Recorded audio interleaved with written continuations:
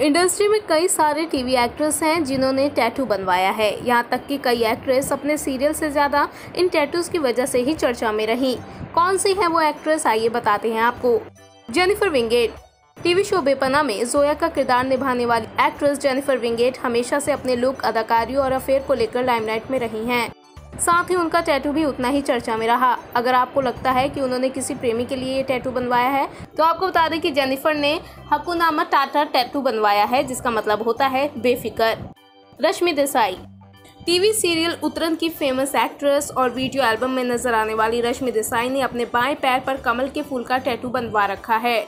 अनीता हसनंदानी ये है मोहब्बते में शगुन का किरदार निभाने वाली एक्ट्रेस अनीता ने भी अपनी कलाई पर आर अक्षर का टैटू बनवाया है। ये उनके पति के नाम का पहला अक्षर है, क्योंकि उनके पति का नाम रोहित रेड्डी है। देवलीना भट्टाचार्य जी टीवी सीरियल साथ निभाना साथिया से फ़ेमस हुई देवलीना भी काफ़ी खूबसूरत हैं। सीरियल में गोपी बहू से फ़ेमस देवलीना ने कमर और गर्दन पर एक टैटू बनवा रखा है। अदा खान। टीवी की नागिन अदा खान भी अपने टैटू की वजह से काफ़ी फ़ेमस है। अदा ने अपनी कलाई पर माँ नाम का टैटू बनवाया है और करिश्मा तन्ना। करिश्मा तन्ना का टैटू भी काफ़ी खास है।